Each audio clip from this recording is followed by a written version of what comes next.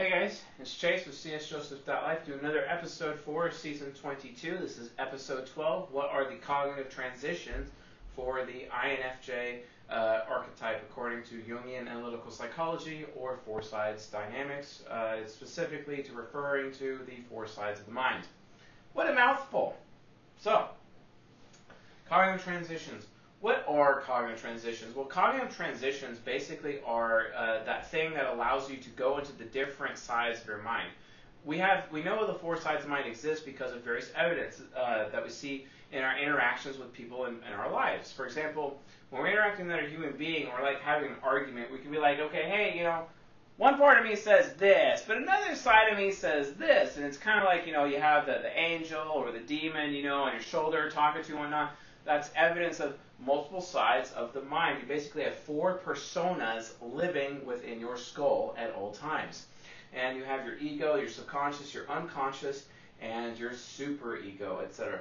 And they develop differently in different areas. And they actually control this. This is your mind, basically, for an INFJ, and it controls the entire uh, direction and development of your life as we know it. And by the way, if you want to learn more about that, we go into super in depth about this entire process in season 19, episode 13, which is available at csjoseph.life forward slash members. It was available on Patreon, but we are actually closing our Patreon. Patreon will be going away, and we are moving over to our members page. Don't forget, folks, if you are a patron, you need to move over to your the members page and get an account with us on the members page, and the cutoff is going to be June 1st. We will not be posting any new content on Patreon after June 1st. Make sure you guys understand this. Plus, if you do switch over to members from patrons on June 1st, etc., and you are a uh, you are a member on June 1st, you will be grandfathered in to keep access to season 14, episodes 1 through 8, and season 19, episodes 1 through 17. After you become, if you become a member after June 1st, you will not have access to those episodes anymore. So be aware of that. Super important. So commercial over, back to our regularly scheduled programming. So, cognitive transitions of INFJ. INFJs are pretty awesome. They are, quite frankly, uh, the most important of all the types, except maybe INFPs, in my humble opinion, uh, especially since humanity just can't really move forward without an INFJ. They have to move forward with them. And uh, this is kind of exemplified between, since they are the finishers. This is why Jesus said when he was dying on the cross, quote, it is finished, because it is finished. And then as a result of being finished, he is the grand archetype, the logos archetype, as attached to the finisher archetype uh, for the human race as the INFJ. So in order for the um, in order for uh, the age to close and a dawn of a new age, a new way of thinking, a new everything to occur, well, the INFJ is the tip of the spear that leads humanity to that point, which is why they're so crucial. And it's interesting because they end up, so while they are the most valuable, they also can be the most worthless of all the types as well. And they just end up oscillating between the two. They can be completely novel and completely worthless, that they're literally like doing nothing with their life except playing World of Warcraft or League of Legends and sitting on their ass, not really doing anything or caring because they want so badly to get recognition, more recognition on the kill board, right, or the leaderboard. That's all they really care about at the end of the day to prove to other people that they actually have skill because of their SC inferior performance anxiety. Yeah, okay, what a complete total waste. Kind of sounds like my, you know, INFJ mentor because he ended up becoming. Uh, I mean, when I knew him, he he hit platinum for a while. I think he actually made diamond, and he was beating challengers on 1v1 on a regular basis, playing attack damage carry with Caitlyn or Jinx, as well as some other uh, ADCs, because ADC is the only role that he played. I dabbled a little bit with League of Legends and did support and jungle. I like jungle the best, and definitely Trundle is my favorite character. But at the end of the day, it probably is not really something I should be spending my time on, so I gave it up. As much as I gave up EVE Online and World of Warcraft and all these other dopamine creating things, because I didn't really want to get uh, to a point where I was being, you know, uh, addicted to these games and spending time on that. So I decided to spend time on you guys and actually like create something and share this knowledge with you folks. Knowledge that luckily my INFJ mentor conferred upon me, which I'm very thankful for. Um, but to a point. I've been able to develop the science a lot since since his influence, and we are moving forward uh, as a result of this presentation. So, cognitive transitions. So how do I identify an INFJ on the type grid? They're direct, they're responding, they're, they're progression, direct, they say what they mean, mean what they say, they're responding, they prefer to be kept in the loop on things instead of being the person that loops other people in on things. If you want to learn more about that, watch season 15. It talks about how to type people in the type grid, etc. Also watch season 2. So season 2 and season 15 playlists on this channel explains like all of that so you guys know. So just so so you like you do that. Other than that, uh, they're also very interest based. They're aware of what they get out of situations. They're trying to work for the mutual benefit of themselves and other people, although sometimes they can actually manipulate systematic people and allow systematic people to take a lose while they get a win, while the systematic people are oblivious to win lose situations. This is especially true with triple systematic types, uh, which are NTPs. And oftentimes, INFJs end up taking full advantage of NTPs because of that situation. So please be aware of that. They're also very abstract and committed to what if thinking and possibilities instead of um, instead of um, you know the what is. Kind of like the INFJ wife of my ENFP mentor who constantly accuses him of cheating on him on her, even though he doesn't actually do that and he's actually super loyal. But she's so worried about him, you know, choosing somebody else over her or valuing somebody else over her that she ends up spinning these crazy ideas like, oh, this is out of the normal. You know, you're home a little bit later. Who are you sleeping with, etc. And she literally makes these statements to him to his face. At least she did 10 years ago. And that's like a really scary and heavy business experience, but I've seen it with my own eyes. Wow. Yeah, like stop being so worried that, you know, your man's not going to choose you. And, you know, the same thing goes for INFJ men. I've seen INFJ men get really, really bad, such that they end up assuming that uh, their lover has betrayed them, so they end up going sleeping with somebody else. Be like, ha, see, it's fair for you to sleep around because I went and slept around too. And then they find out that the lover never actually did to begin with, and they're actually getting them a present or something in secret for their anniversary. And then the INFJ's like, oh wow, yeah, I done screwed up. Yeah, yeah. Well, that's a thing that often happens with INFJs, and that personally happened to me with my former INFJ girlfriend, one of them at least. So anyway, that could be a serious issue uh, in that particular situation.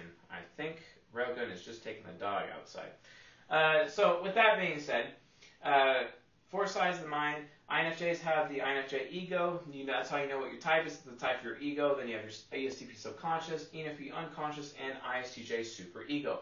Do not forget, folks, that just because, you know, it's like, oh, you know, MBTI letter dichotomies, you know, it's like, oh, I'm an INFJ, but I'm feeling like really perceiving today, so like that must mean like I'm an INFP, or guys, you know, I'm really extroverted right now, so I'm probably an ENFJ right now. No, that's not how the MBTI, the MBTI letter dichotomies are crap. Like they don't, they're not like actually legit. I made another lecture called the MBTI letter dichotomies debunked word for word. Look it up here on YouTube on this channel watch it so you can understand how the MBTI letter dichotomy and typing someone like, oh, that guy's really I right now, and he's so N, and yeah, he's definitely a thinker, and he's so perceiving, so he's an INTP. Don't ever type someone that way. That like that's that's actually stupid. Don't do it. There's there you can't type anyone using that method. The only tried and true method that is 100% accurate every single time, provided you actually know how to use the tool, is the type grid, which is what we've been talking about. If you want to get a copy of the type grid, go to https colon whack whack csjoseph.life forward slash type grid to get yourself a copy of the type grid emailed to you for free. Uh, the type grid is the type grid 2.0. The 3.0 version is out and available at ultimatemessagingformula.com. And while it is selling people on how to increase their sales and marketing, it actually applies to every daily life conversation. So you might want to check that out as well.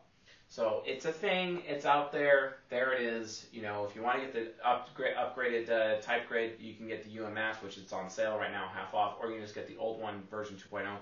Version 3.0 may be released for free at a later date, but not anytime soon. Probably with our Explorer launch, whereas we're on our Discover launch right now for the actual personality assessment that we have right now. If you want to get in the personality assessment beta, you should like probably check that out. csjoseph.life forward slash members. Become a silver member. It's only five bucks for like a month. you have access to our personality assessment, online personality assessment beta, and we'd greatly appreciate your feedback. Hashtag commercial over. All right, so four sides of the mind. So uh, these are their four sides, and the thing is, is the reality situation is, is that while your letters, you know, don't change, because some people, everyone always asks me, do I do my letters change? Am I always be an INFJ forever? Yes, the answer is yes, you will. The difference is you can actually become an ENFP, you can become an ESTP, you can become an ISTJ. And there's proof that this exists because you make these arguments where like, oh, you know, I'm I'm on I'm like uh, you know a side of me is like this, but you know I'm actually this is my opinion right now, but one side of me has this opinion right now, and it's kind of like having an angel and a demon on your shoulder. That whole trope, etc. It comes from the four sides of the mind. You just have, and some of them are more active than others, for example, right? And in order to gain access to the four sides of mind, you have to cognitive transition into the other four sides of mind. And you can cognitive transition into two different ways. You could do it uh, chaotically or in an orderly fashion. If you're doing it chaotically into your ego, you're an irresponsible form of your ego. If you're doing it chaotically into your subconscious, you are a fearful, uh, insecure version of your uh, subconscious. If you're if you're going into it chaotically in your unconscious, you're very uncertain and full of worry, right? And if you go chaotically into your superego, which is basically the default and very common, in fact, it's extremely common. In fact, it's the norm uh, you end up harboring hatred within your superego. How do you like that INFJs knowing that you are so capable of so much hatred, especially when someone betrays you? Oh, maybe have you considered that you actually deserve that betrayal? Have you ever thought about that? Are you really that great of a person that you didn't deserve that betrayal? You might want to consider that for a second. You, you really, you really might want to consider. We're going to dive a little bit deeper into that, though. Trust me. Don't worry. We're going to get there. So chaos versus order. That's how you could go into the different uh, sides of the mind. But when you're doing it orderly, they become very responsible. Uh, they end up uh, being very secure in themselves, uh, and uh, and then they end up gaining humility instead of covering up with pride. And then uh, they're unconscious. They're very certain in themselves. It helps them gain grasping on wisdom. And then by doing things in a loving manner, after achieving orderly transitions from all this, the superego actually becomes a vehicle for love instead of a vehicle for hatred, which is consistent amongst IN, INFJs on a regular basis. So that's chaos versus order. We're just jumping around here because why not? I mean, you think I actually plan these lectures for the most part? No, I don't actually. No, I just kind of let it fly. You know what I'm saying? And I usually just film it all in one take, even though this is technically my second take on this video right now. Right now, because I heard earlier, like my wife was like actually like screaming or something or making being very loud as ESTPs can get, especially with um, our dogs. So I had to refilm. But no matter, she's handling it, and uh, I love my wife dearly, and I just had to restart this uh, lecture to this uh, to this end. So, but anyway. So these are the four sides of the mind, and like whenever you're feeling extroverted INFJs, you're actually in your ESTP subconscious or you are in your ENFP unconscious, etc. Usually, if you're in an ENFP unconscious, it's just you trying to save face, or if you're in your ESTP subconscious, it's you trying to strengthen other people or get some uh, wolf pack going on, or you enforcing somebody else's loyalty, right? Just just to give you a couple examples, you know what I'm saying? So these are the four sides of the mind, and that's kind of showing you the different transitions. Now, how chaotic versus order, how why do we have the why does it work like this? Well, it's because of these gateways. The gateway functions are the first function, the fourth function, the fifth function, and the eighth function.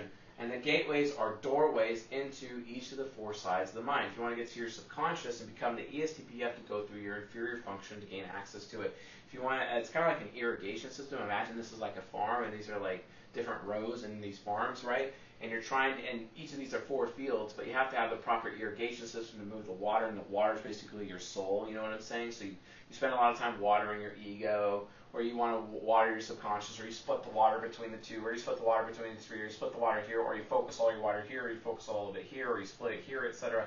There's lots of options, but it goes through these irrigation channels, also known as the cognitive gateways, which is the first function, the fourth function, the fifth function, and the eighth function, and they give you access to each of these four sides of your mind, and you can use them in a chaotic or an orderly manner, which is absolutely necessary to your own personal growth.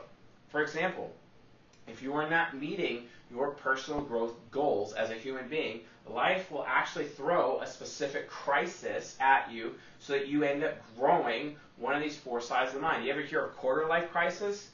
Quarter life crisis is when your ego does not become developed and you and you're still using your hero irresponsibly. You're still using your hero chaotically, right? And that's what quarter life crisis is for. Midlife crisis, midlife crisis is all about your subconscious. That's what midlife crisis is for. Three quarter life crisis is all about your unconscious. And final life crisis, also known as death, that's actually for your superego. And uh, these crises will get thrown at you uh, regardless of your development, and you have to prove to your mind, basically, prove to the four sides of your mind, because these are actually four separate entities, four separate people, four separate souls actually living inside of your head, making up your spirit, etc., right? This is your spirit. This is like the structure of your spirit, right? These four souls coming together in this yin and yang equilibrium balance, four dimensional, you know what I'm saying, right? And because of this, you end up becoming a complete person. Well, the problem is these sides of mind are actually disjointed. And by bringing them together in a form of integration, which I talk about heavily in season 19, if you want to watch season 19, especially the INFJ episode, which is episode 13, you can see it at csjoseph.life forward slash members. But you have to be a gold tier member, and I think that's like 25 bucks a month. Check that out. There is so much content available. Just letting you guys know that season 19 will actually be disappearing uh, from uh, memberships on uh, June 1st, but you get to keep it if you're still a member on June 1st because you'll be grandfathered in to actually keep it. Keep that in mind. So be advised. So the point is, is that the sides reminder very disjointed, and you have to bring them together. And I'll and I explain how that works in season 19. That's not relevant uh, for here. But regardless, the four stages of life, which is quarter life crisis, midlife crisis, three quarter life crisis, and final life crisis are all exemplified for each uh, side of the mind. And every side of the mind ends up getting its day in court, right? You're supposed to be taught by your parents in adolescence personal responsibility. And that's how you start using your hero function in an orderly manner, personal responsibility, right? Uh, and then as a result of that, you end up going through your quarter life crisis during adolescence. That's what it's supposed to be. But nowadays, it just doesn't really happen until like like mine. Mine didn't happen. I didn't complete mine my personal rite of passage, which is what quarter life crisis is. I didn't complete mine until 27 years old, sadly, and I'm 33. So I've only been out of that for like five years. And I already see my midlife crisis coming around. I could feel the pressure building up the back of my head, and it's literally bothering me every single day every single day. So I have to work on my subconscious, which is ISFJ subconscious, which is forcing me to uh, uh, read Dr. Eric Berg and uh, Thomas DeLauer and like all these different sources, etc. Uh, Mark Rippetoe, etc. Uh, as well as uh, learning martial arts styles like Combat Fighter or Jeet Kune Do and Bruce Lee and his philosophy, all these types of things that really helps develop the ISFJ side of my mind because if I don't do that, I'm going to have midlife crisis and I'm going to freak out. And I would like to avoid midlife crisis by prioritizing those things now so that I can actually meet all those goals before the crisis actually takes place so that when the crisis actually comes, I pass it with flying colors, my mind is cool, and I can move on to the next level. Just be advised, three quarter life crisis and final life crisis, I actually talk about heavily in how to parent each type in season 23, which is also gold tier lecture. We're doing how to parent all the types right now, so if you want to check that out, I highly recommend you become a member, a gold member, to be able to watch uh, season 23. Season 23 is only available uh, behind our paywall, so awesome. So, with that being said, these are the four sides mind. Those are the cognitive transitions, right? But why why is this necessary? Well, it really comes down to the purpose of life for the INFJ. It all comes down to the purpose of life, and the purpose of life for the INFJ is to make other people stronger to make other people better, to improve their fellow human beings, to create a wolf pack of strong people who are loyal to the INFJ, even to the point of being willing to take a bullet for the INFJ, so that the INFJ could utilize themselves and their wolf pack to provide world change in some capacity. Best example out there, Jesus Christ and his 12 disciples. The 12 disciples were his wolf pack. INFJ. So let me ask you, who out there are your disciples? Who out there are your wolf pack? Wait a minute. Are you actually even strong enough to take on a disciple? A disciple is somebody who comes and learns you. I am a disciple of my INFJ mentor, right? My former INFJ mentor. I was his disciple, and I'm no longer a disciple. I'm now a master. I started out with him. I was his apprentice So INFJs, are you taking on people to apprentice? Are you taking people to the gym and helping them get stronger and healthier? Are you um, are you uh, are you uh, helping people on a project, computer programming, right? And uh, writing code and, and managing code and, and helping create an amazing software system that will change the world for the better. INFJs, are you going out of your way to fill out every single crack that and, and problem that you see within inside of an organization, be it a business or a 501c3? Are you spending time volunteering? What are you doing?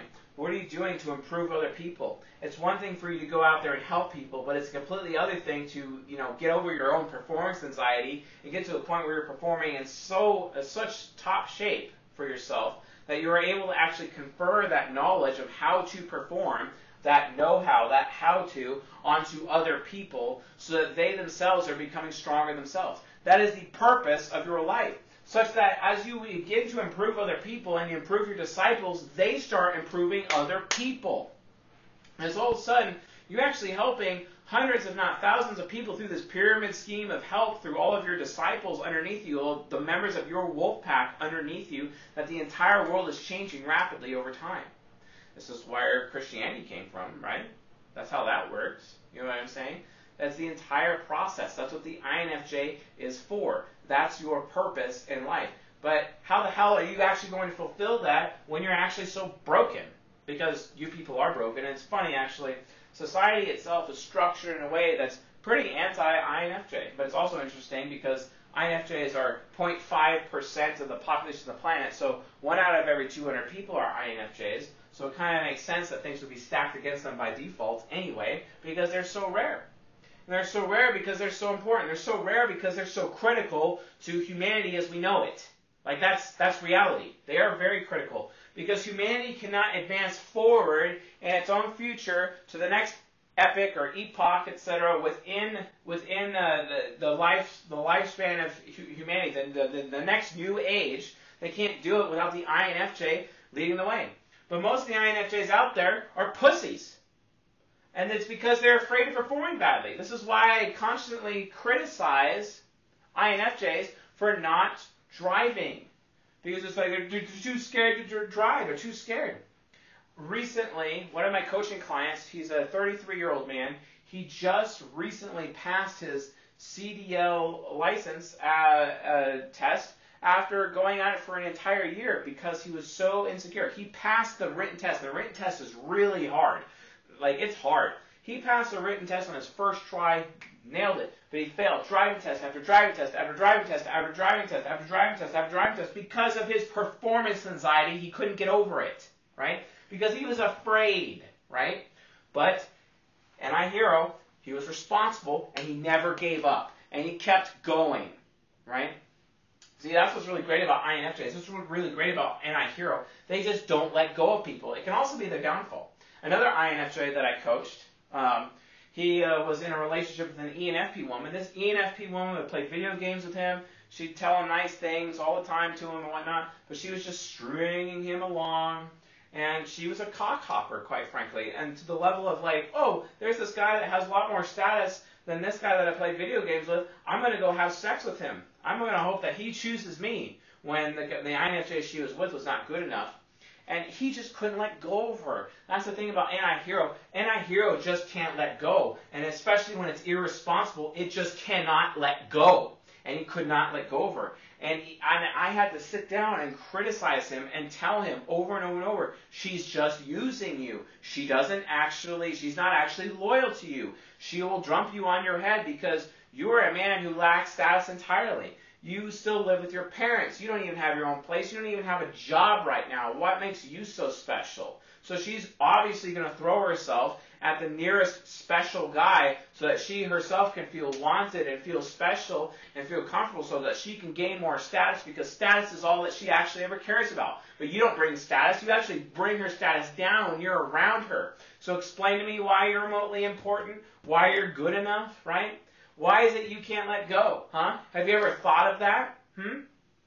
Well, the reality of the situation is he was being irresponsible, right? Just like my other INFJ friend was being afraid, afraid of performing badly. It created a self-fulfilling prophecy where he kept on failing his driver's test over and over and over and over, and it was super annoying. It's really hard to coach somebody in that situation when they keep failing over and over and over and over again. It's like, wow, should I just give up? You know what I'm saying? But no, he didn't give up. So there's a balance there. Same thing here. We already talked about the villain being worried about other people, about not being chosen anymore, worried that you know someone else is gonna like your your lover is going to abandon you, uh, going to betray you. And this, this worry is not just in terms of relationships. This worry exists in business. Worried about being passed up for, for, for promotion. I'm not going to be wanted enough to be you know have this promotion. I'm not to be wanted by my family. I'm not to be wanted by this, and they're they're so worried because they're so afraid that they're performing well. And because of this worry, it makes the performance anxiety worse, such that INFJs end up believing that they have to trade performance for loyalty. It's annoying. It's not true. But they believe it. And then when someone actually ends up abandoning them, probably because they were being alienating, because they probably deserved it in that moment, the INFJ gets all butthurt and blames them, and then it creates hatred in the introverted sensing demon, and the only memories they remember about that person is bad.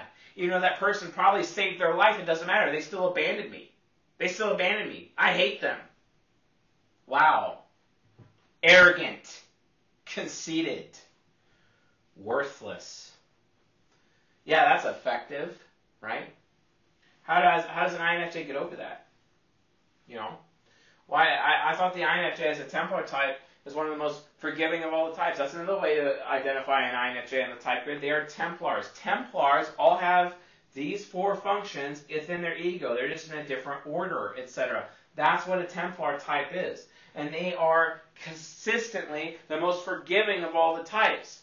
They're also the biggest hypocrites of all the types. Why? Because they tell everybody else around them to be responsible and to be strong, but they themselves are the most irresponsible and the weakest. And they know it. Hypocrites. Such times where they even sell themselves in this idea of, well, as long as I don't say anything, that means I could be irresponsible. As long as I'm not criticizing anyone, I could be irresponsible. Wow. Way to live out your purpose, right? So instead, because you're being irresponsible, not saying anything, not criticizing anyone with your TI child, you're actually enabling other people with your little FE child inside of your ESTP subconscious, such that you're actually causing other people to be weak. So you're actually doing the opposite of your purpose in life, the absolute polar opposite, right? And you're actually making other people weak because you're weak too. It's known as the reverse mirror, right? Where you're mirroring other people's behaviors, but when people mimic you, not mirror, when they mimic you, you're actually making them weaker because you're enabling them. INFJs, I challenge you to read the book When Helping Hurts. Stop enabling losers. Stop choosing losers for your wolf pack. Because if you have a wolf pack, sure, obviously, naturally, you're going to feel secure with your performance anxiety that those people in your wolf pack, wolf pack are actually weaker than you are, right? And then you can be the leader because you're, you're strengthening everyone. Okay, yeah, sure, I get that kind of nice, kind of convenient for Will Hunting and Good Will Hunting, who's like an INFJ, to actually be like, you know, and, and then uh, for the Robin Williams INFP character to be like, well, he behaves the way he does because he wants loyalty. You can't find that loyalty because any of his friends would take a bullet for him. You can't find loyalty like that. And you telling him that he's becoming this math whiz to work on this company with you, he doesn't care about that. He cares about the loyalty of his friends because loyalty is all he ever wanted. Well, the INFP knows that. I don't know why those other schlubs, that ESTJ schlub in that movie, uh, trying to get Will Hunting to do this math thing with him, this ISTJ guy as well, or woman, I, I forget. But regardless, he doesn't have anything to do with it. Because loyalty is everything. But INFJs, do you not understand how responsible you are for the personal growth of other people around you? See, there is an INFJ out there who does understand that. His name is uh, Simon Sinek, or Sinek, Simon Sinek. That guy, he is an INFJ, and he is he knows that he is very responsible for the personal growth and the strengthening of other people around him, such that he walks the part, talks the part, lives the part, breathes the part, is the part in every single way. He is not fake. He may feel fake because the ENFP subconscious always makes the INFJ feel fake, but the reality situation is he knows that if he continues to perform, he knows that if he continues to practice, he will be able to perfect his capability in making other people strong. Ah. Right? See, Simon Sinek, he's not uncertain of people in his life betraying him or not wanting him anymore, ultimately leading to abandonment. He's not afraid of performing badly in front of other people. He's actually very responsible with the decisions he makes and very responsible with things that he wants in his life. And he preaches a message of love and not of hatred. How is this possible? How is this possible for an INFJ? Hmm? How? How indeed? Well, again, chaos versus order. Are you a person living in chaos or are you living in order? Order begets order. Chaos begets chaos. Order does not come from chaos. That's a lie. Okay? That's not true. Order does not come from chaos. Order comes from order. So you need to set the order. You need to change your mind. You need to change your mindset. The Bible says, for example, be transformed by the renewing of your mind so that you can test and approve what God's will is, his good, perfect, and pleasing will. Good and perfect, pleasing will such that you can fulfill the purpose of your life. You know, to strengthen others, to improve your fellow human beings, to set the course of change and execute the vision and a better vision for a better future, for a better tomorrow for humanity, because you have the guts to tell the truth, regardless of the consequences. You have the guts to tell the truth and use your fiery sword, your fiery sword of truth that cuts other people as much as it cuts yourself at the same time because you're making sure you're not being a hypocrite in the process. Right? In the fiery sword, your sword is your TI child, but the flames come from the NI hero and it just coats your TI child. And your tongue is a literal double edged sword that comes out and cuts people down, as it should. No one has cut me more than the TI child, the fiery sword of truth from my INFJ mentor. He absolutely obliterated me. He destroyed all the comforting lies in my life. He made me strong for you people because he wouldn't let up, because he didn't care how I felt about anything. He didn't care about my little bullshit beliefs or my little feelings. My feelings, my titles, my status because I was like doing that with my INTJ shadow and whatnot, but he was going to have that. He was just telling me the truth straight up because he saw me as weak, because he knew I was weak. He knew that my beliefs were flimsy. INFJs, why do you put up with everyone around you being okay with comforting lies? Why do you allow yourselves to not verify your own beliefs? Huh? Why are you doing this? Oh, because I don't feel good enough. It doesn't matter how you feel. Stop making decisions based on how you feel and start making decisions based on what's true or what's false. It's TI Child. It's where your divinity exists. Get out of the critic. Who cares how you feel about anything? Do you think Simon Sinek doesn't feel worthless every day? Of course he does. But he makes a decision every morning, a decision with his NI hero to get up out of bed and make it happen. Not for his sake, but for others. Because he has to be responsible and take responsibility for how other people are feeling, how other people are doing in their life, how other organizations are running their organizations, how other human resources departments are doing their thing, whether or not people or workers are being valued by the companies that employ them. That's what gets him up every morning because it keeps him up at night. Why? Because he was in that situation and he saw the suffering of other people when he was working in corporate America, even in the suffering of his own company. And he went out of his way to prevent it. And that's what he does every single morning. He found his purpose and he is strengthening other people. He's strengthening businesses, strengthening organizations, he's strengthening everybody. Individuals. Anyone who is an entrepreneur. He's also strengthening millennials. Everyone's getting all pissed off at millennials, and he's like, millennials aren't the problem. The older folk are the problem. He's not wrong. Millennials aren't the problem. Do you know how I know? Because millennials are the hero function of the world right now. Baby boomers are the parent function, right? Gen X, they're the uh, they're the inferior function, right? Actually, excuse me. Baby boomers are the child function. Gen X is the inferior function. The parent function are the people who are dying right now. Those are the people who fought World War II. And the new parent function is actually Generation Z. Good luck trying to convince Generation Z of anything. They are so pessimistic. They are so skeptical There's a reason why. They're the parent function. That's their purpose. That's Generation Z's purpose. Don't cross them. You will lose. You will lose.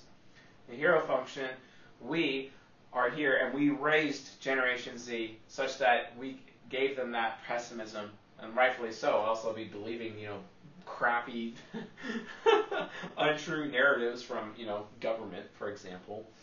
Uh, but hey, you know, to each their own, right? Whatever makes you safe, right? You know, how about having dangerous freedom instead of, you know, the safety of slavery? Why don't you think about that? Hmm.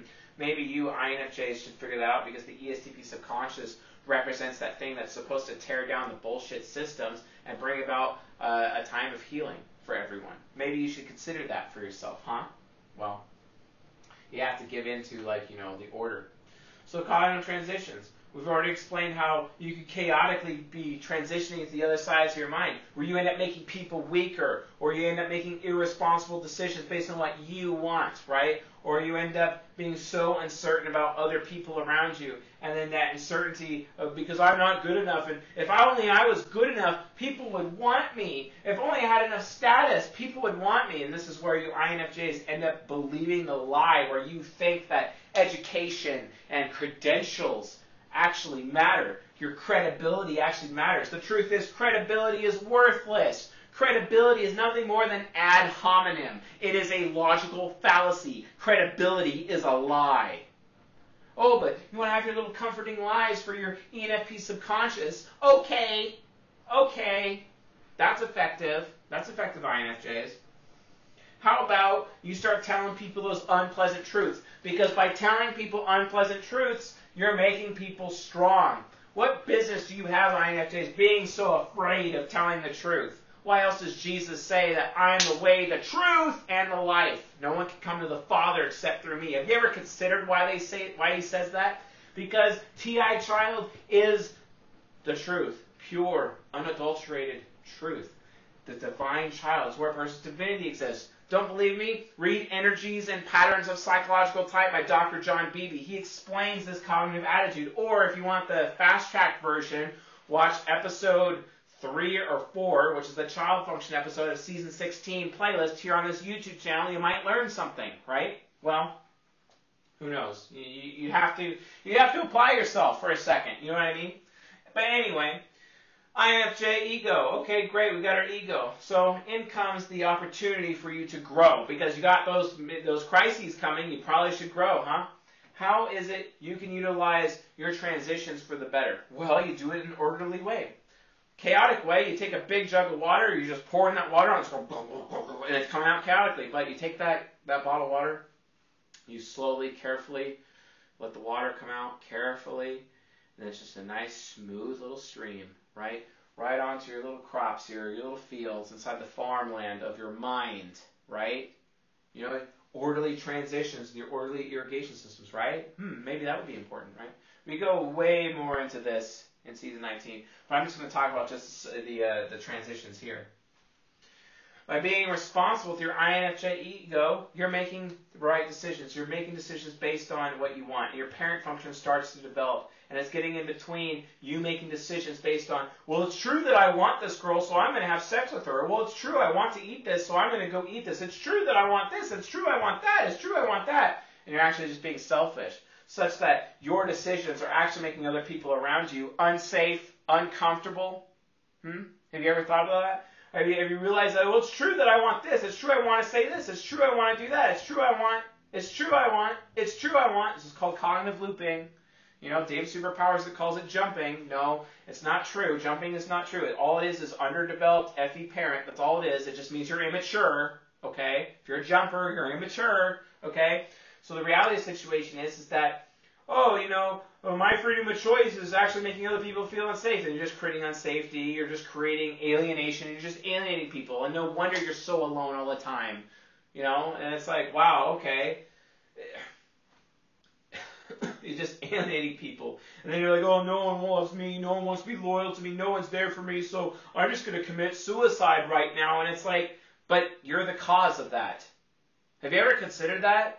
Have you ever considered that, you know, because INFJs, I, and, I've, and I've actually saved a lot of INFJs in, in their lives in terms of you know committing suicide, and I have prevented suicide after suicide after suicide. My INFJ ex-girlfriend, for example, I you know she she was cutting herself like I prevented that. It was crazy, and oh what what a horrible situation. But the point is is that in that in that situation is that the INFJ often doesn't even understand. They don't even know how alienating they are actually coming off because they, their performance anxiety, that fear consumes them so much that they end up getting to this point where it's like, oh, I'm just alienating people. Oh, uh, I'm just going to cover it with pride because obviously I'm a top performer. I have to believe I'm a top performer to be a top performer. When they end up getting too lazy and too afraid of performing that they don't even bother practicing for that performance, right? Because practice makes perfect. No other type except INTJs benefits more from practice than INFJs. If INFJs just practice going to the gym, strengthening themselves, teaching the truth to people, telling people unpleasant truths, debating them, having all their research back up, knowing what the truth is, and spinning facts after facts after facts after facts after facts, regardless of who it might alienate, right? Because they're actually strengthening people. Because when an INFJ has the guts to tell an unpleasant truth, people around them end up becoming strengthened. This is why Jesus says, He who has an ear, let him hear. What that means is, is that when I'm going to tell you an unpleasant truth, you might want, you might not want to hear it, which means you're just going to abandon me and go elsewhere on your way and be ignorant. Okay, but for those of you that stick around, those of you that are strengthened for me telling you the unpleasant truths, that at that moment you are part of my wolf pack because you're listening to my message and you are becoming someone who I can disciple, someone who will follow me. Is when Jesus tells these disciples, Follow me. When the rabbi comes around, choosing you, follow me. Do you guys understand the significance of that? Do you know how hard it is to get chosen by a rabbi? There's, in the affiliative way, you have to choose so much time and effort and be in a school and sponsored and going to university and get the degree saying you know the Torah, you know the Bible, you know all this stuff, you know, and then you might be chosen by a rabbi. But no, Jesus, he's the rabbi. He, he's an autodidact. He ain't got no official training. He never went to school. He didn't do that. He started teaching at the temple as a child. He don't need that crap. He don't need no diploma. He don't need no degree. The dude, did you know Jesus has got tattoos on his leg? You might want to look that up. But the point is, he's so badass. He don't need any of those credentials, mustache, nothing, because he was an autodidact. You know, just like Will Hunting was an autodidact. Watch that, okay? He's an autodidact, and he's this autodidact rabbi. And it's like, well, oh, Mr. Jesus, how come you have like, how could you be a rabbi? What's your credentials? And it's like, well, I know more than all of you people combined, so and you ask me questions and I answer them and you're so astonished. It's like, yeah, that's why I'm teaching in the temple. Get over it. Who cares? You, your little bullshit credentials don't mean anything. Who cares, right? Well, it goes on. So Jesus around. He sees these rent this tax collector, corrupt dude, right? Maybe it was me and FP. Maybe it's an ISTJ, corrupt little dude. Come follow me. Be my little wolf pack. Oh, to be chosen by a rabbi, the highest honor, the highest honor in the land, of course you're going to immediately leave what you're doing. Because, I mean, the rabbis, they, they got all the status, you know what I'm saying? They got the most money. I mean, they have their own little private Federal Reserve central banking system in the temple. It's no wonder Jesus pulled out his whip and started beating the crap out of them and flipping their tables. You know what I'm saying? Because he even knew that usury, one of the worst sins that possibly exist, you know, loans with interest, right? It's horrible. It's a form of slavery, and he wasn't going to have it. And ESTP subconscious exists to break the chains, right? It's no wonder Daenerys Targaryen, an INFJ, was known as the breaker of chains. She was fulfilling her purpose in the story of Game of Thrones. Pay attention, people. So, it goes on. But, you know, Jesus, you're not, you're not afraid. Not afraid because he knows the truth. I'm the way, truth, and life, right? He knows the truth. And it doesn't matter how anyone feels about the truth. It doesn't matter how he feels about the truth. The truth is the truth, is the truth, is the truth, is the truth. Absolute truth. And his tongue is a double-edged sword, and it cuts him as much as it cuts other people. But he's not being a hypocrite, so he doesn't have to worry about that. INFJs, you can choose to not be hypocrites, Okay? As long as you focused on practice. Jesus was practicing his craft at all times. Practicing being a carpenter. Practicing being a rabbi. Practice, practice, practice. You have to practice your craft. Okay? Because the more you practice, the stronger you personally become as an INFJ, such that you could use your ESTP subconscious and then make other people strong as a result of the practice. Because you invite people to practice with you, and you confer upon them, you initiate them into your line of thinking or into your training, into your tutelage. You are the master, they are the apprentice. Why else was Jesus referred to as master all the time by his disciples? Have you guys ever even thought of that? You know what I'm saying? But that's the point, folks. Understand the difference, please. Okay? So get over your fear.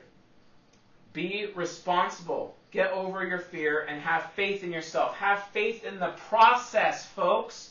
Why do you guys get so arrogant that you won't allow yourselves to practice because you're afraid of failing while you practice? That's actually a form of arrogance. That's why the lesson of the subconscious is humility when you actually accept you're not that strong, when you actually realize you're pretty weak, and you be like, okay, yeah, I'm weak, but I'm going to practice every single day to get strong. And then once you've earned your stripes, once you have put in the time and practice constantly so that you're so strong in mind and body, such that at that point you are able to strengthen other people through your subconscious, and thus you have your disciples, and you have your wolf pack, and things start to change for the world as we know it. Why aren't you doing this?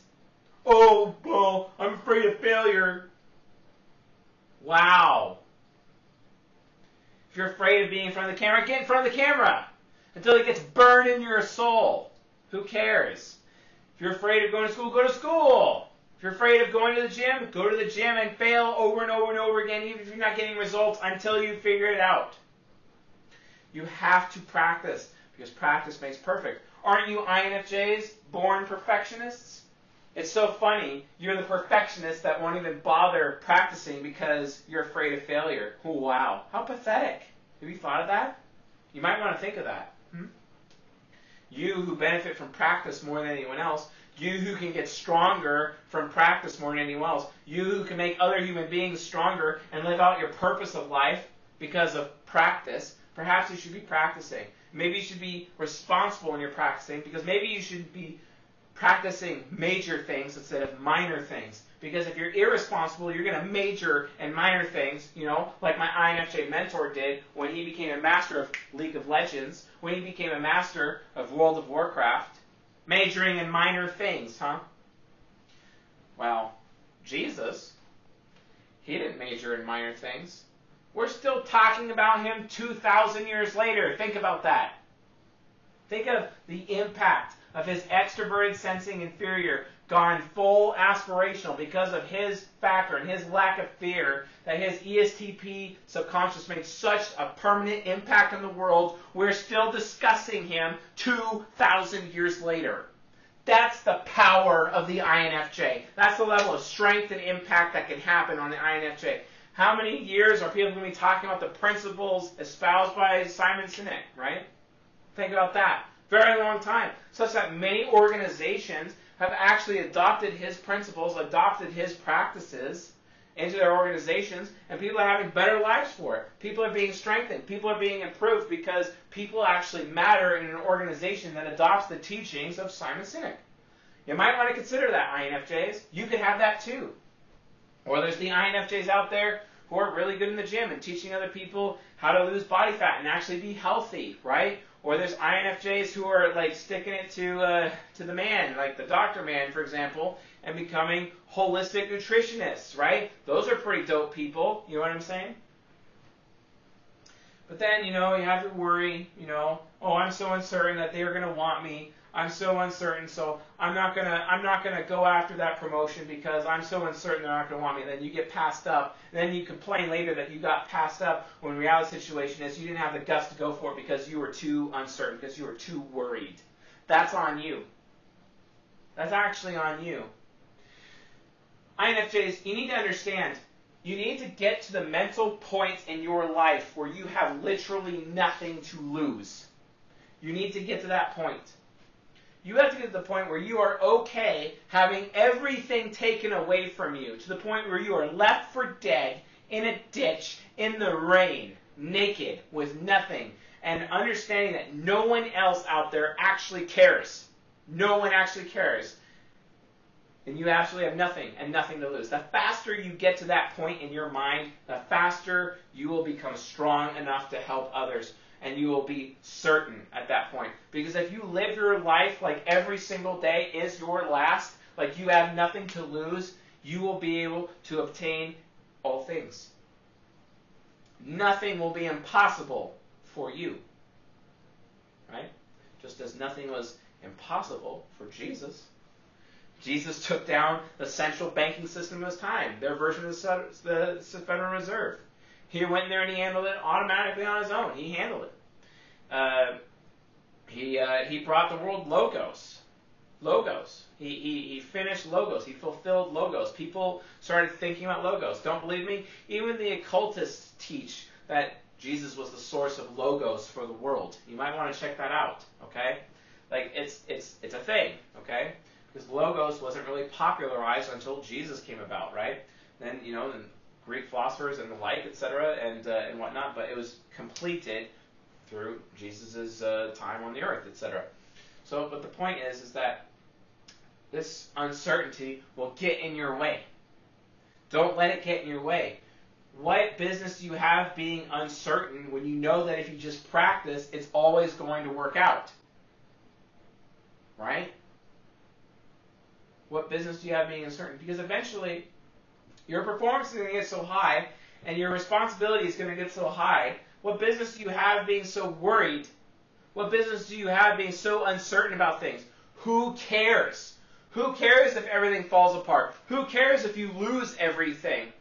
INFJs, it's like you're holding on to things, holding on to people so hard and you're squeezing them and they literally pop in your hands. Like all those sands, you're squeezing so hard and the sand just comes out of your fingers. That's literally extrovert intuition nemesis the harder you squeeze, the more they'll want to leave. And then all of a sudden you have NPs in your face telling you, well, if I'm going to do the time, I may as well do the crime. And then they betray you anyway because you deserved it. Because it's a self fulfilling prophecy. That's what it is, right? And then imagine how you're going to feel afterwards. Imagine the guilt, right? Imagine the guilt.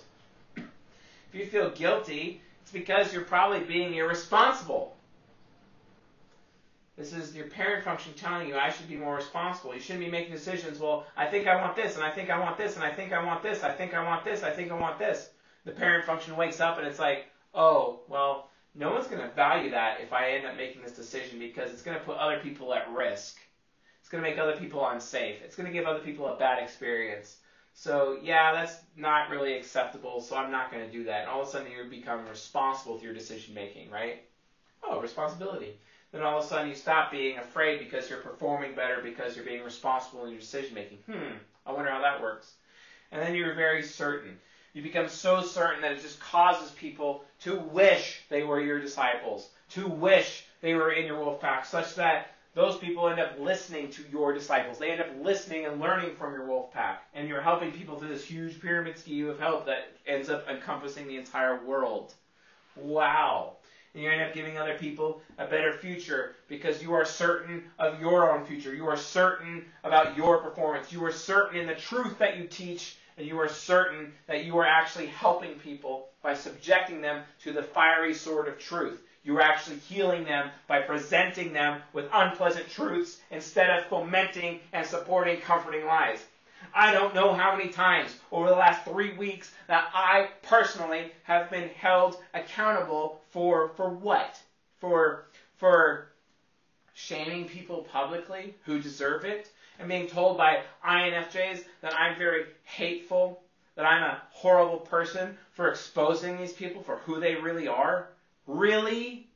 Really, guys? Why are you using your FE parent who's not very parental, not very responsible? Why are you out there supporting comforting lies when you should be burning comforting lies away and teaching unpleasant truths to make a better today? You are the reason why the world is remaining ignorant. when you could be the reason why the world is becoming wise.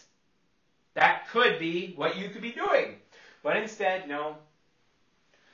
Well, I need to be there for other people's feelings because I don't feel good about myself and I really need other people to recognize me and feel good about me so I can feel good about myself. Who cares? Who cares? Maybe you should just tell the truth. Maybe you should just be practicing and practicing telling the truth. Because eventually, the people that are still willing to have an ear and hear you, right? Those people are strong enough to handle your message of truth. They're strong enough to handle those unpleasant truths.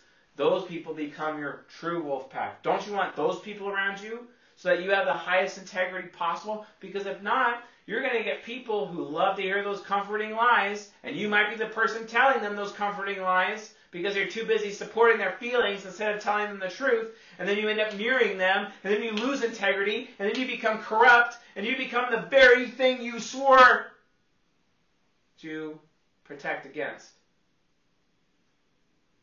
You became the very thing that you swore never to be. Hypocrites! That's your future, INFJs unless you understand your cognitive transitions, a transition in an orderly manner. It goes on. Think of all of the people in your life who have abandoned you. Hmm? Think of all the people in your life who have abandoned you, who have moved on from you. Maybe it's because you were alienating them, but you didn't see it that way. They abandoned me. I did all this for them. Did you really do that much for them? Were you? I I supported their comforting lies, and they still abandoned me. Wow, they probably would have stuck around if you had the guts to tell them the unpleasant truths. He who has an ear, let him hear. The Apostle Paul says in 2 Timothy chapter 4, verse uh, 3 and 4, I believe, he says, The day is coming when people will turn away from sound teaching and they will they, uh, they will abandon sound teaching. They will gather up for themselves teachers, news media, pundits, talking heads, television programs, movies, documentaries to teach them what their itching ears want to hear and people will abandon all truth and logic and turn their way towards myths. That's the world we live in right now. The prophecy of 2 Timothy chapter 4 has come true. But then you're out there supporting the comforting lies. Great. And you're wondering why these people are abandoning you. Maybe you should have the guts to tell the unpleasant truths to get even more people away from you because Jesus said, I have not come to unite. I have come to bring a sword. I have come to divide and divide families. That's what TI does. That's what the fiery sword of truth does. Why aren't you dividing people? It's your job to divide because dividing and who can handle that division are the ones that are, it separates the weak from the strong. And then you find the people who are willing to be strong, who are willing to feel the fire of your fiery sword of truth as a paladin INFJs so that they can come to you and be part of your wolf pack and become stronger as a result of your direct influence and truth within your in their lives. What the hell? That's what you should be doing, right? But why can't you do that? Huh?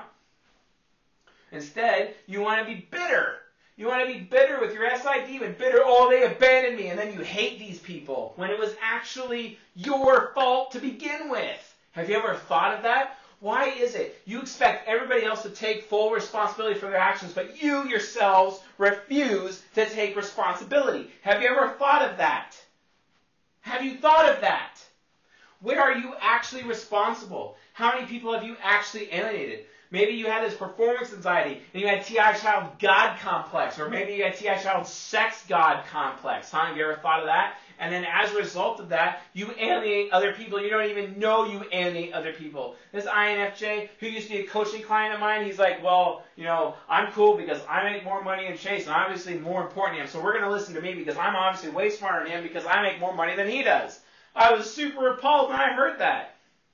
One of my closest friends. Wow, so alienating. Of course I abandoned him. Absolutely. But then he blames me to this day for abandoning him. And it's like, wow, nice hatred you got there for me, bro. But one day you're going to realize, hopefully, that you were actually being alienated the entire time. Because if you push a loyal person too far to the point where they no longer give a damn, that's a meme, by the way, look it up. If you push a loyal person so far that they no longer care, is that on them for abandoning you, or is that on you? You who, for some reason, believe that top performance, if I perform well, that I could trade that for loyalty. If I have all the muscles, if I got the six pack, if I'm working out and pumping iron, that makes me more of a man, right? That means you, as my woman, shouldn't abandon me, right? Because I put all that work into that. Women don't care about that. Are you kidding? They care about whether or not you have strong character. They care about whether or not you, you produce more than you consume. They care about whether or not you are self sufficient. You have your own car, your own job, your own home, that you are your own man with your own purpose. They care about whether or not you are going to take responsibility for your actions. They care about your character. Damn it. Pay attention. Oh, but you know, your attention span is all the way down here. Hmm, I wonder how that works out for you.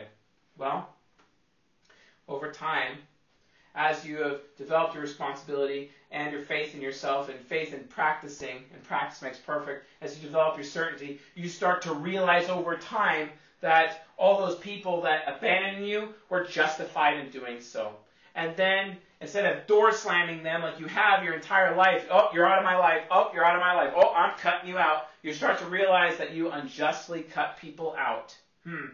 And then maybe you should go out of your way. Maybe you'd actually want to go out of your way to talk to those people again and take full responsibility for your actions, at least for the part of it that's your responsibility. Sure, I'm sure you'd love to use your FE parent, maybe if it's behaving like a child for some reason, to hold people responsible for the bad things they did, but you still have to take responsibility for your actions. You expect everybody else to do it with your ESTP subconscious, but why can't you yourselves do it? Huh? Have you ever considered that, INFJs? Why can't you? Why can't you take responsibility for your actions? Oh, because that would mean that you'd have to admit that you did something wrong. Oh, and then you're going to feel guilty about that. Oh, we can't have that. We can't feel guilty. And if I have to take responsibility for that, you know, oh, you know, I may, I might feel, I might feel suicidal. Like, great, FI critic, thank you for being super selfish. Thank you, thank you. You're so selfish, FI critic. When it should be wise about its self worth and realize that by taking responsibility for your actions, you end up loving people. Because you're no longer using TI child God complex. You're no longer judging people with judge, jury, and executioner and cutting them out of your life on a whim. You're actually going out of your way to understand people and understand that you are weak and when you were weak, you alienated them. But now you're strong, and you're capable of improving them and making them strong. But you can't do that until you forgive them, and you can't do that until you forgive yourself. So forgive yourself so that you can forgive them, so that you can love them. I tell you the truth. The reason I am here talking to you right now and actually giving my precious time to you and this community is specifically because of this right here. I teach this psychology so that you can understand yourself, so that you can forgive yourself, so that you can love yourself finally, such that because you understand yourself, you can understand others and teach them so that they can understand themselves and love themselves and forgive themselves, and y'all can forgive each other, and it will make a better world. That is my purpose here. But instead, I got people like you out there telling me that, you know, oh, you're hurting too many people's feelings because you're, you're telling the harsh truths. And I'm like, I'm sorry, but the man, when the man comes around, you know, on Highway 61. You might want to listen to that, that song. I recommend the Johnny Cash version. It was at the end of the uh, movie known as The Hunted with Benicio del Toro and Tommy Lee Jones. One of my favorite films, by the way. But the point is, when a man comes around, you might want to pay attention. You might want to love your neighbor as yourself. You might want to recognize that maybe you actually did alienate those people. Maybe you may have actually been the problem. You're so self righteous you're so holier than thou that you don't even realize it. That's the problem, folks. You need to humble yourself. You need to have wisdom. You need to have personal responsibility so at last you could forgive yourself and love yourself so that you could forgive and love others. So that you can actually master yourself for once and actually have sober judgment instead of judge, jury, and executioner, where you actually follow due process instead of just taking the sword and whacking off their head and being done with it. You're no better than Daenerys Targaryen taking Drogon and burning down the Red Keep, burning down King's Landing. Wow. It's, honestly, it's pathetic. But you could do better. You could be responsible. You could practice and ha- have any fear. A man of no fear, a woman of no fear. You could be certain that regardless of anyone no longer choosing you, it doesn't matter because you are still moving forward. You have your purpose. You have your mission. You're making the right decisions. You are practicing every single day and you are taking full responsibility for your actions so that you can love your fellow man because it is up to you to love your neighbor as yourself. What business do you have, INFJs, loving others and caring for others if you will not care and love for yourself first? Explain that. Sadly, some of you can't.